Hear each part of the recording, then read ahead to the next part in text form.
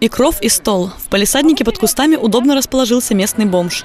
На предложение полицейского пройти в отделение отреагировал без энтузиазма. Не хотел оставлять бутылку. Нет, конечно, все свое заберете с собой. Все, что ваше, вы заберете с собой. В любом случае. Любят выпить во дворах не только бомжи. Нина Артемова жалуется, что ей не дают спать по ночам. Говорит, даже дворник уволился, устал собирать тонны бутылок. И никакого покоя нет. Всю ночь орут, орут всю ночь. И молодежь, ну это вообще такого раньше не было. Мы были молодыми. Это да, сейчас вообще кошмар какой-то беспредел. Конец света, наверное, будет. Это уж я не знаю, что. По жалобам горожан в администрации составляют маршрут. Проблемные зоны проверяют сотрудники полиции и наркоконтроля.